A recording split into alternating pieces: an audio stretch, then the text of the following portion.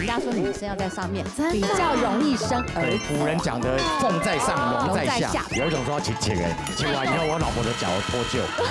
我还记得我那时候医师跟我说，下个月我就让你怀孕。我知道为什么，的好怀孕哦，对我好像很有信心这样子。